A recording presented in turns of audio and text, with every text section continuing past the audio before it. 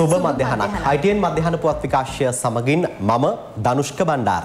මම වත්සලා කුලසූරිය මුලින් අවධානය ප්‍රවෘති සිරස්තල වෙත.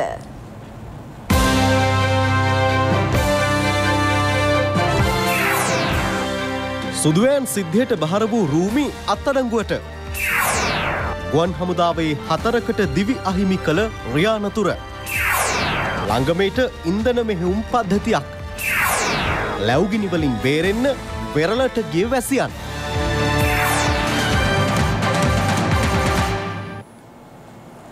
ආන්දරනාත්මක සුදුවෑන් මාධ්‍ය හමුව සම්බන්ධයෙන් රාජ්‍ය ඖෂධ නීතිගත සංස්ථාවේ හිටපු සභහපති රුහමි මෝමට් අපරාධ පරීක්ෂණ දෙපාර්තමේන්තුව අත්අඩංගුවට ගත්තා.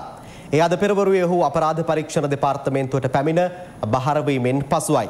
සුදුවෑන් සිද්ධිය සම්බන්ධයෙන් අත්අඩංගුවට ගත් පාර්ලිමේන්තු මන්ත්‍රී රාජිත සේනාරත්න මහතාට කොළඹ ප්‍රධාන මහේස්ත්‍රාත් අධිකරණය ඊයේ ඇප ලබා දුන්නා. ආන්දෝලනාත්මක සුදුවෑන් මාධ්‍ය හමුව පැවැත්වුණේ පසුගිය ජනාධිපතිවරණ කාලසීමාවේදී. මෙම මාධ්‍ය හමුවට සහභාගී වූ සැකකරුවන් දෙදෙනා මෙවන විට රක්ෂිත බන්ධනාකාරගත කර තිබෙනවා.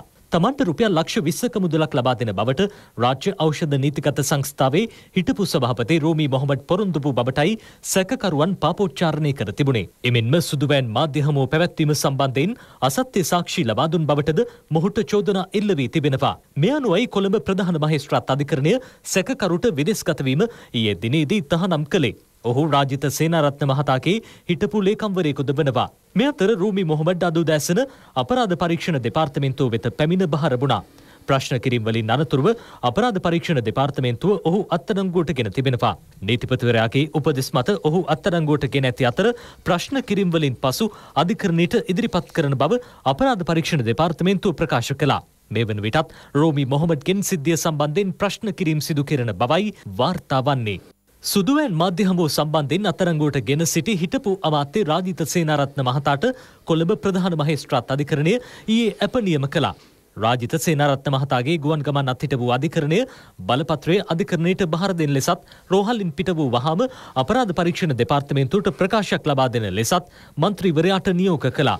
අධිකරණයේ ඇප නියම කිරීමෙන් පසුවද තවමත් රාජිත සේනාරත්න මහතා නරහින් පිට පෞද්ගලික රෝහලක ප්‍රතිකාර ලබමින් සිටිනවා.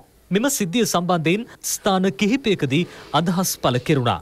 පාටලි චම්පික රණවකට ඇප ලැබෙනවා හැබැයි යෝගේ රයදුරා රක්ෂිත බඳනාගාර ගත කරන. රාජී සේනාරත්න හිටපු අමාතතුමාට ඇප ලැබෙනවා ඔහු සමඟ මාධ්‍යසාකච්ඡාට වාඩි වෙච්ච කිම්බුලු දෙන්න තවමත් රක්ෂිත බඳනාගාර ගත වෙලඉන්න. එතකොට මෙහෙම රටක නීතියක් ක්‍රියාත්මක වෙනවා නං යුක්තිය සාධාරණත්වය කොහෙද කියන එකයි අපිට ප්‍රශ්න කරන්න තියෙන. ධනය බලය අනුව නීතිය දෙයාකාරව ක්‍රියාත්මක වීමක් සිදුවෙන්න පුළුවන්කමක් නෑ ගෝටාබේ රාජපක්ෂ මැතුමාගේ අපි බොහොම කරුණාවෙන් ඉල්ලනවා අපිට අවශ්‍ය කරන යුක්තිගරුක නීතිකරුක රටක් ඒ රට අපිට නිර්මාණය කළ දෙන්න එක රටක් එක නීතියක් ක්‍රියාත්මය කරන්න අවශ්‍ය කරන පසුබිම හදන්න මේ වර්තමාන ආණ්ඩුවේ නායකයෝ අධිකරණයට නීතියට බලපෑම් කරන්න නැහැ කියන එක දැන්වක්කත් තේරුම් ගත්තොත් හොඳයි. රාජිත සේනාරත්න ගරුමන්ත්‍රීතුමා නීතිය හරියට ක්‍රියාත්මක වෙනෝ කියලා අපට ලොකු විශ්වාසයක් තියනවා. එනිසා එල්ලිවෙන ජාමෙට හොඳ හොඳ සෙල්ලං කිව්වලු. එතුමාගේ ඖෂධ මාපියාව සහ ඖෂධ ඒ ජාවාරම් පිළිබඳව ඒ වගේම දීවර අමාත්‍යවරයා හැටියට ඉන්නකොට නැව් පිටිං ගිලපු හැටි මේ සියල්ල මේ රටේ ජනතාවට කොහෙත්ම අමතක වෙලා නෑ. සීයිඩියකෙන් නිලධාරීන් අපි පැයගණන් කියපු සාක්ෂි දුන්න ඒ සටහන් සාධක ඒවගේම චෝදනා පත්‍ර නිසිය විදියට හදන්නතුව ඒ සාක්ෂි සාධක පාදක කරගන්නේ නැතුව රාජ්‍යත සේනාරත්නට නීතිය තියෙන හිල්ලස්සේ රිංගල යන්න පුළුවන් විදියට සරල බී වාර්තාවකින් සරල නඩුවක් තමයි ඔහුට විරුද්ධව දැම්මේ. ඒක ඊටාම හොඳට පැහැදිලි. මොකද බොහෝ වෙලාවන් වලදී CID කියන නිලධාරීන් ඔවුන් අපිව මගාරමින් මේ අධිකරණ ක්‍රියාමාර්ගය ඉදිරියට අරගෙන යන්න උත්සාහ කරා. ඒකෙන් අපිට ඊටාම පැහැදිලි CID එකේ තාමත් ඉන්නේ ශානිලාගේ ගෝලයෝද තාමත් CID එකේ හොල්මන් කරන්නේ ශානිගේ හෙවණලිද කියන එක අපිට විශාල ප්‍රශ්නයක්. රියනතුරකින් ගුවන් හමුදා සාමාජිකයින් හතර දෙනෙකු ජීවිතක්ෂයට පත් වුණා. රත්මලාන ගුවන් හමුදා කඳවුරට අනියුක්තව සේවය කළ සෙබළුන් හතර දෙනෙකුයි මෙලෙස අනතුරට ලක් වුණේ. මේ අතර මාවනැල්ල හෙම්මාතගම ප්‍රදේශයේදී බස් රථයක් පෙරලීමෙන් අට දෙනෙකු තුවාල් ලබා තිබෙනවා. කොළඹ නුවර ප්‍රධාන මාර්ගයේ වරකාපොල දුම්මල දෙනිය ප්‍රදේශයේදී අද අලුයම සිදු වූ රිය අනතුරකිනුයි ගුවන් හමුදා සමාජිකයන් හතර දෙනා මිය ගියේ. ඔවුන් ගමන්ගත් ත්‍රිරෝධ රථය කන්ටේනර් රථයක ගැටී තිබෙනවා. මාතලේ ප්‍රදේශයේ පැවති අවමංගල උත්සවයකට සහභාගී වී ගුවන් හමුදා සෙබළුන් පිරිස ත්‍රිරෝධ රථයෙන් රත්මලාන දක්වා පැමිණෙන අතරතුරයි අනතුර සිදු වුණේ. කන්ටේනර් රථය කොළඹ සිට පොළොන්නරුව දක්වා දහවනය වෙමින් තිබුණා. අනතුරෙන් මියගිය ගුවන් හමුදා සෙබළුන් කහටගස් දිගිලිය ගල්ගමුව අම්පාර සහ කොස්ගම යන ප්‍රදේශවල පදිංචිකරුවන්. ඔවුන් සියලු දෙනාම අවුරුදු විසියටත් හතලියත් අතර වයසේ පසු වුවන්. කන්ටේන රථය රියදුරු පොලිසිය මගින් අතඩංගුවට ගෙන තිබෙනවා. වන්නේ දිස්ත්‍රික් ශ්‍රී ලංකා නිදහස් පක්ෂ පාර්ලිමේන්තු මන්ත්‍රී කාදර මස්තාන් මහතාගේ රථ පෙළට මැර ප්‍රහාරයක් එල්ල වී තිබෙනවා. වෞනියාව උළුක්කුළම ප්‍රදේශයේ වැඩසටහනකට සහභාගී වී යළි පැමිණෙමින් සිටියදී මෙම ප්‍රහාරය එල්ල වී ඇත්තේ. කඩු පොල්ලු රැකින පැමිණි පිරිසක් මගහරස්කර මන්ත්‍රීවරයාගේ රථ පෙළට පහර දීමට උත්සාහ කිරීමේදී ඒ වැළැක්වීමට ගිය මන්ත්‍රී ආරක්ෂකයෙකු තුවාල ලබා තිබෙනවා. ඔහු වෞනියාව රෝහලට ඇතුළත් කෙරුණා. මේ සම්බන්ධයෙන් පොලිසියට පැමිණිලි කිරීමත් සමග පොලිසිය පැමිණෙමින් සිටියදී මැර පිරිස පලාගේ බවයි කාදර් මස්තාන් මන්ත්‍රීවරයා සඳහන් කළේ. ලංගම බස් රථවල ඉන්ධන විනාශය නැවැත්වීම සඳහා ඉන්ධන මෙහෙයුම් පද්ධතියක් හඳුන්වා දීම සිදු කෙරෙනවා. පරිසර හිතකාමී ව්‍යාපෘතියක් ලෙස මෙය ක්‍රියාත්මක කිරීම සැලසුමයි. අමාත්‍ය මහින්ද අමරවීර මහතාගේ ප්‍රධානත්වයෙන් මේ සම්බන්ධ විශේෂ සාකච්ඡාවක් පැවැත්වුණා. ලංකා ගමනාගමන මණ්ඩලය මගින් දිවයින පුරා බස් රථ පන්දහස් හාරසියක් පමණ දෛනිකව ධාවනය කෙරෙනවා. එකම බස් රථය රියදුරන් දෙදෙනෙකු ධාවනය කරන අවස්ථාවේදී දහනය වන ඉන්ධන ප්‍රමාණය වෙනසක්ද පවතින බව පරීක්ෂණ වලින් හෙළි වී ඇති බවයි ලංගම කළමනාකාරීත්වය පවසන්නේ. ඒ හේතුවෙන් ජනවාරි මාසයේ සිට ඉන්ධන මෙහෙයුම් පද්ධතියක් හඳුන්වා දීමේ වැදගත්කම ලංකා ගමනාගමන මණ්ඩලයේ නව සභාපති නීතිඥ කින්ස්ලි රණවක මහතා අමාත්‍යවරයා වෙත දැනුම් දුන්නා. ඉන්ධන දහනය අවම කිරීම මෙන්ම පරිසර හිතකාමී ව්‍යාපෘතියක් ලෙස මෙය ක්‍රියාත්මක කෙරෙනවා. ළඟම සතු ඩිපෝ එකසිය හත තුළම මෙම ව්‍යාපෘතිය ක්‍රියාත්මක කිරීම සැලසුමයි. රජයේ මුද්‍රණාලය ආශ්‍රිතව මුද්‍රණ ශේත්‍රය සම්බන්ධයෙන් දැනුම ලබාදීමේ විද්‍යායතනයක් පිහිටවීමට කැබිනට් පත්‍රිකාවක් ඉදිරි සති කිහිපයේදී ඉදිරිපත් කරන බව අමාත්‍ය බන්දුල ගුණවර්ධන මහතා පවසනවා. අමාත්‍ය බන්දුල ගුණවර්ධන මහතා රජයේ මුද්‍රණාලයේ නිරීක්ෂණ චාරිකාවකට එක්වෙමින් එහි කටයුතු සොයා බැලුවා. මුද්‍රණාල භූමියේ සෑම ස්ථානයක් වෙතම ගිය අමාත්‍යවරයා එම සේවකීන් සමගද සාකච්ඡා කළා. අනතුරුව රජයේ මුද්‍රණාලයේ ක්‍රියාකාරීත්වය සම්බන්ධයෙන් පාලන අධිකාරිය සමගද අමාත්‍යවරයා සාකච්ඡා පැවැත්වුවා. අපිට බොහොම පැහැදිලිව මේ ආයතනය දකිින්ට තියෙන තත්ත්වය තමයි රජයේ මුද්‍රණාල ඉතිහාසයේ අඳුරුතම නරකම යෝගිය ලෙස තමයි පහුගිය යාපාලන යුගය සනිටුහන් වෙලා තියෙන. මොකද හේතුව මේ විෂය භාර ඇමතිවරු පස් දෙනේ. මුද්‍රණාලාධිපතිවරු පස් දෙනේ. ඒ අතර ඒ පත්වෙන ඇමතිවරය ඒ කාල සීමාව තුළ පුද්ගලික ප්‍රතිලාභයක් සලසගන්න පුළුවන්නම් ඒ සඳහා තමයි මහන්සි වෙලා තියෙන. ඒක ජාතික අපරාධයක්. අපි දින 100ක් ඇතුළත රජයේ මුද්‍රණාලයේ ආශ්‍රිතව විශ්වවිද්‍යාල විද්‍යායතනයක් පිටවීමේ කටයුත්ත මං කරනවා කියන එක මේ අවස්ථාවේ මතක් කරන්න කැමතියි. රටේ අනාගත දරුව වෙනුවෙන් යොදාගන්න පුළුවන් වෙන ආකාරයට මුද්‍රණ කර්මාන්තය ආශ්‍රිත විශ්වවිද්‍යාල විද්‍යායතනයක් විශ්වවිද්‍යාලයකට අනුබද්ධිතව පිහිටවීම සඳහා වෙන කැබිනට් පත්‍රිකාව ලබන සතිවලදී ඉදිරිපත් කළා කැබිනට් අනුමැතිය ලබා ගන්න. රජයට අයත් වතු සමාගම්වලට බදු දී ඇති වතු සම්බන්ධයෙන් ඉදිරියේදී විශේෂ ක්‍රියාමාර්ග ගන්නා බව රාජ්‍ය අමාත්‍ය වාසුදේව නානායක්කාර මහතා පවසනවා. රත්නපුර ප්‍රදේශයේ පැවති උත්සවයකදී මහතා මේ බව ප්‍රකාශ කළා. රත්නපුර නිවිතිගල දෑලදුඹ ගම්මන ප්‍රදේශයේ ජනතාවගේ ගැටලුවලට විසඳුම් ලබා දෙමින් පානීය ජල ව්‍යාපෘතිය ඉදිකිරීම ආරම්භ කිරීම වාසුදේව නානායක්කාර මහතාගේ ප්‍රධානත්වයෙන් සිදු කෙරුණා. ඒ සඳහා වැය කෙරෙන මුදල රුපියල් ලක්ෂ 590ක් මාස 8ක් තුල ව්‍යාපෘතිය අවසන් කිරීමට නියමිතයි. මෙහිදී අදහස් දැක් වූ වාසුදේව නානායක්කාර මහතා කියා සිටියේ ආර්ථිකය ශක්තිමත් කිරීමට රජය විශේෂ තීරණ රැසක් මෙවන විටත් ගෙන ඇති බවයි.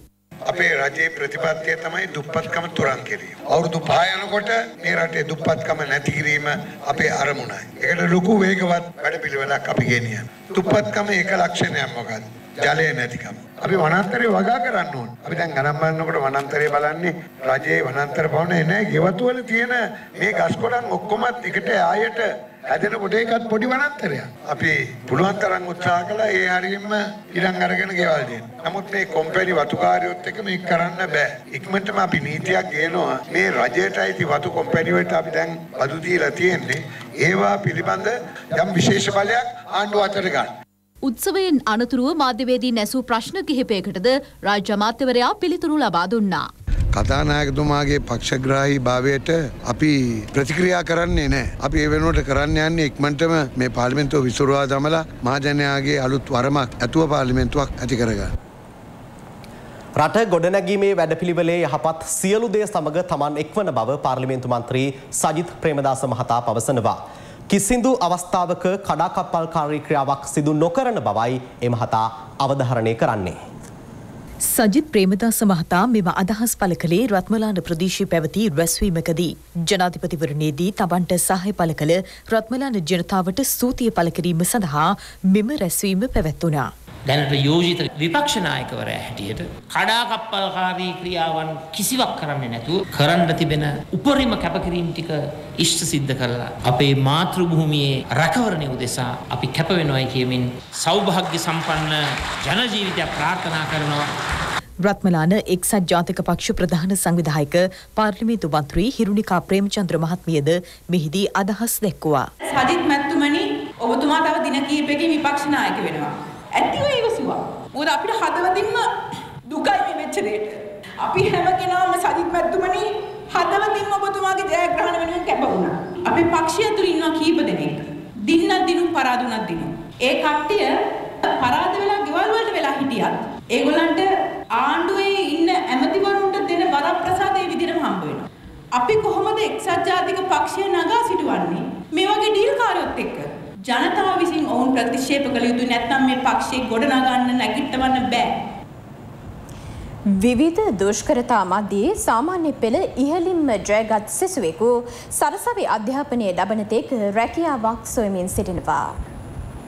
මෙවර උසස් පෙළ විභාගයේදී ජෛව පද්ධති තාක්ෂණ වේදය විෂය ධාරාවෙන් රත්නපුර දිස්ත්‍රික්කයේ ප්‍රථම ස්ථානයත් දෙවේනි පස්වන ස්ථානයත් හිමි කරගෙන සිටින්නේ රත්නපුර හිදැල්ලන සිවලි මධ්‍ය මහා විද්‍යාලයේ සිසුවෙක්. අනුෂ්ක ඉන්දුනිල් ජයසිංහ නැමැති මෙම සිසුවා දොඩම්පේ අධිකාරිය පන්සල අසල පදිංචිකරුවෙක්. මව සහ පියා කම්කරු රැකියාවේ යෙදමින් ණය තුරුස් පවා වෙමින් තමන්ට අධ්‍යාපනය ලබා දුන් බව අනුෂ්ක ඉන්දුනිල් පවසනවා. මේ නිසා ණය මුදල් පියවීමට හෝ තමන්ට කඩිනමින් රැකියාවක් ලබා දීමට කවුරුන් හෝ පියවර ගන්නේ නම් එය මහඟු පිනක් බවයි ඔහු පවසන්නේ. සරසවි අධ්‍යාපනය ආරම්භ වන තෙක් තමන්ට එම රැකියාවෙන් නිරත විය හැකි බවද ඔහු පවසනවා. අම්මයි තාත්තයි දෙන්න විදින් කුලී වැඩ තමයි කළේ. කොමරි ඒගොල්ලෝ හොඳට ඉගැන්නුවා. අද මං එතන ඉන්නේ ඒ දෙන්න හින්දා. මම බලාපොරොත්තු වෙනවා තොරතුරු තාක්ෂණය පැත්තෙන් ඉස්සරහටම යන්න. විශ්වවිද්‍යාල ප්‍රවේශය ලැබෙනකන් රැකියාවක් කිරීමට බලාපොරොත්තු වෙනවා. විදුලිසර වැදීමෙන් තුන්දෙනෙකු මියගිය පුවතක් ඊයේ අපට වාර්තා වුණා. විදුලිසර වද්දවා වනාලින් දෙදෙනෙකු ඝාතනය කර ඇති පුවතක් හොරව්පතාන ප්‍රදේශයෙන් වාර්තා වනවා. මේ අතර වනාලි පහරදීමකින් සද්දරුපියෙකු ජීවිතක්ෂයට පත්ව තිබෙනවා. හොරුපතාන දෙමට වැව වස්සල්ලාගම ගම්මානේ ගෙවත්තක අදින ලද විදුලි රැහැනක ගැටීමෙනුයි වනාලින් දෙදෙනා මිය ගොස් තිබුණේ. නිවෙස්සිමියා වනාලි වෝදුරින් මිදීම සඳහා මෙම විදුලි රැහැන් ඇද තිබෙනවා. අදාළ නිවිස්සමියා හොරෝපතාන පොලිසිය මගින් අත්තරංකුටගෙන වැඩිදුර පරීක්ෂණ සිදු කරනවා. මේ අතර මැදිරිගිරිය නවනගරය ගැමුණුපුර ගම්මානේ පදිංචිකරුවෙකු වනාලි පහරදීමකින් මිය ගියා. ඔහුගේ නිවස ඉදිරිපිටදී වනාලීන් පහරදී ඇත්තේ. අද අලුවෙන්ම සිදු වූ මෙම අනතුරෙන් මිය ගියේ හැට නම හැවරදී සද්දරුපියෙක්. මීට මාස තුනකට පෙරද මෙම ගම්මානේ අයකු මේ අයුරින් වනාලි පහරදීමකින් මියගිය බව ප්‍රදේශවාසීන් පවසනවා. ලස්සන රටක් නිර්මාණය කිරීමේ අරමුණ සහිතව ආරම්භ කෙරෙනු වැඩසටහන් දිවෙන පුරා සාර්ථකව ක්‍රියාත්මක වනවා. සෞභාග්‍යයේ දැක්ම රට ගොඩනැගීමේ වැඩපිළිවෙලට අනුව ශ්‍රී ලංකාවේ වනගණත්වය ඉහළ නැංවීමේ අරමුණින් හැදෙන රටට වැඩෙන ගසක් ජාතික රුක්‍රෝපණ වැඩසටහන ක්‍රියාත්මක කරනවා. හෙට සිට සතියක කාලයක් ජාතික රුක්‍රෝපණ සතිය ලෙස නම් කර ඇති අතර එහි සමාරම්භක උත්සවය ජනාධිපති ගෝඨාභය රාජපක්ෂ මැතිතුමාගේ ප්‍රධානත්වයෙන් අනුරාධපුර මහමෙවුනා අසපුවේදී පැවැත්වීමට නියමිතයි. ඊට සමගාමීව ශ්‍රී ලංකා මහවැලි අධිකාරියද වැඩසටහන් රැසක් ක්‍රියාත්මක කිරීමට කටයුතු යොදා තිබෙනවා. රුක්රෝපණ වැඩසටහන තුළදී පැල ලක්ෂ පහක් රෝපණය කිරීම අපේක්ෂාවයි.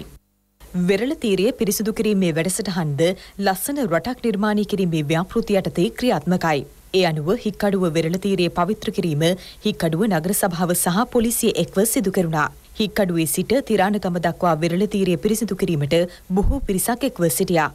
කළුතර නගරයට ආසන්නව පිහිටි දක්ෂිණ අධිවේගී මාර්ගයේ කැරෑකැටිය පාලම සහිත තාපය සිතුවම් කිරීමට පාසල් දරුවන් එක්ව සිටිනවා. අඩි 84ක දිගින් යුතු තාපයකුයි සිතුවම් කිරීම ආරම්භ කර තිබෙන්නේ. පුවත් කිහිපයක් කෙටියෙන් දකිමු දැන්. පාර්ලිමේන්තු කාරක මණ්ඩලේ පාසල් දරුවන් හත්සියක් සඳහා පොත් ඇතුළු උපකරණ ලබාදීම කතානායකකරු ජයසූරිය මහතාගේ ප්‍රධානත්වයෙන් පාර්ලිමේන්තු ශ්‍රවණාකාරයේදී සිදු කෙරුණා. පහවසර ශිෂන්ත විභාගය සාමාන්‍ය පෙළ උසස් පෙළ මෙන්ම ජාතික සහ ජතන්තර විශේෂ කුසලතා දැක් වූ දරුවන් වෙත මුදල් ත්‍යාග සහ සහතිකද පිරිනැමුණා. ගම්පහ පහළගම පුරාණ විහාරස්ථානය වාර්ෂිකව සංවිධාන කරන සංගමිත්තා පෙරහැර හැත්තෑ අටවන වරටත් මෙවර පැවැත්වුණා. විහාරාධිපති පූජ්‍ය පහළගම සෝමරත්න ස්වාමින් වහන්සේගේ අනුශාසනා මතයි එය සංවිධාන කෙරුණේ. හිටපු අමාත්‍ය පණ්ඩු බණ්ඩාරනායක මහතා සදාතුක කනඩුව හස්තියා මත තැන්පත් කිරීමෙන් පසු පෙරහැර වීදි සංචාරය ආරම්භ කෙරුණා.